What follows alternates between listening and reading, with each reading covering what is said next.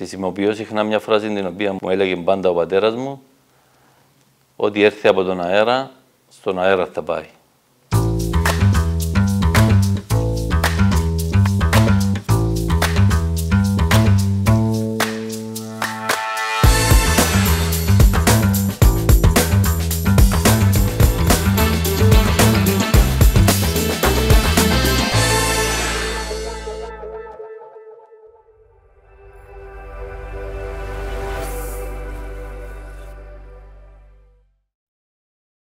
Ποια συστατικά πιστεύετε ότι είναι απαραίτητα για την επιτυχία; Η τιμιότητα, η ειλικρίνεια, ο σεβασμός, ε, η σκληρή δουλειά και η πολλή μελέτη φτάνει φυσικά να αγαπάς και αυτό που κάνεις. Όλα αυτά συνηγορούν στην επιτυχία.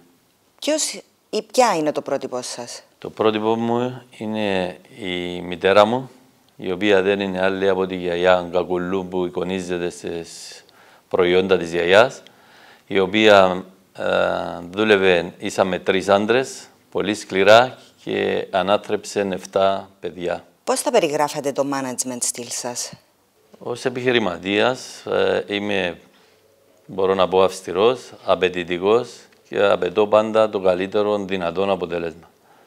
Δεν πάβει όμως να είμαι ανθρώπινος, φιλικός και στενός φίλος με όλους τους συνεργάτες μου. Ποιες είναι οι προσδοκίες σας ως επαγγελματίας; Να βλέπω πάντα πρόοδο και να βασίζομαι πάντα σε στερεές βάσεις. Ποιο είναι το μεγαλύτερο σας επίτευγμα; Μπορεί πολλοί να θεωρούν ότι το μεγαλύτερο μου επίτευγμα είναι η ηγετική θέση που έχουμε στο κλάδο της τυροκομείας ή το μεγαλύτερο εργοστάσιο που καταφέρα να, να κάνουμε ε, στον τομέα της τυροκομείας αλλά για μένα η καλύτερη και μεγαλύτερη μου επιτυχία είναι τα τρία μου παιδιά, οι τρεις μου γη, οι οποίοι είναι προσγειωμένοι, αφοσιωμένοι, αγαπημένοι και μπορούν να πιστεύω αν συνεχίσουν έτσι να κρατήσουν τη δουλειά και την επιχείρηση στην κορυφή. Ποια πρόσοντα ψάχνετε στους συνεργάτες σας; Να είναι τιμή, να είναι ειλικρινείς και να σέβονται τον άλλον που έχουν απέναντί τους. Micromanagement ή μεγάλη εικόνα; Πιστεύω ότι είναι ένας συνδυασμός και το δύο, χωρίς να υπερτερεί κανένα από τα δύο.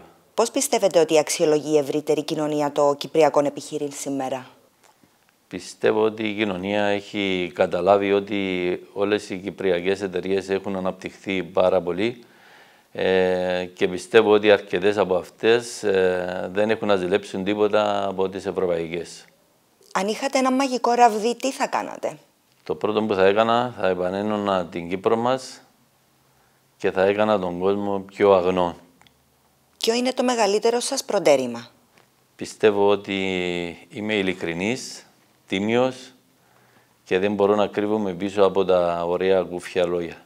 Ποιο είναι το πολυτιμότερο πράγμα που έχετε στην κατοχή σας; Ένα ρολόι που έχω από τον μακαρίτη, τον πατέρα μου, και ένας σταυρό τον οποίο μου έχει χαρίσει η θεία μου στα τελευταία της πριν πεθάνει, τα οποία είναι πολύ μικρής αξίας, αλλά ανοιχτήμητης αξίας για μένα. Ποια είναι η αγαπημένη σας στιγμή της ημέρας; Είναι το πρωινό, κατά το οποίο πηγαίνω στην παραλία, ασχολούμαι με τον αθλητισμό, με τη γυμναστική και αυτό με προετοιμάζει για το υπόλοιπο της ημέρας. Ποια φράση χρησιμοποιείτε συχνά; Χρησιμοποιώ συχνά μια φράση την οποία μου έλεγε πάντα ο πατέρας μου ότι έρθει από τον αέρα, στον αέρα θα πάει. Αν επιλέγατε κάποιο άλλο επάγγελμα, ποιο θα ήταν; Από πολύ μικρός είχα ασχοληθεί με το εμπόριο και δεν πιστεύω ότι θα έκανα κάτι διαφορετικό, κάτι άλλο εκτός από το εμπόριο. Πώς χαλαρώνετε; Χαλαρώνω περνώντας τις ώρες μου με τον εγγονό μου ή με μια καλή παρέα το βράδυ για φαγητό. Πώς θέλετε να σας περιγράφουν ως μάνατζερ; Σαν ένα ειλικρινή και τίμιο άνθρωπο. Τι είναι αυτό που σας αρέσει περισσότερο στη δουλειά σας; Οι σχέσεις που δημιουργώ με πελάτες ή με συναδέλφους και στηρίζονται σε αμοιβαία εμπιστοσύνη. Αν ήσασταν υπουργός Οικονομικών, ποια ριζική απόφαση θα παίρνατε; θα προσπαθούσα να μικρύνω το χάσμα μεταξύ του ιδιωτικού και του κυβερνητικού τομέα, βοηθώντας έτσι περισσότερο τις κυπριακές ε, βιομηχανίες. Τι είναι αυτό που προσέχετε πρώτα όταν γνωρίζετε κάποιον; Προσέχω τα μάτια του και προσπαθώ να καταλάβω αν είναι ειλικρινής και σωστός ε, μέσα από τα μάτια. Ευχαριστούμε πολύ. Τελειώσαμε. Τελειώσαμε.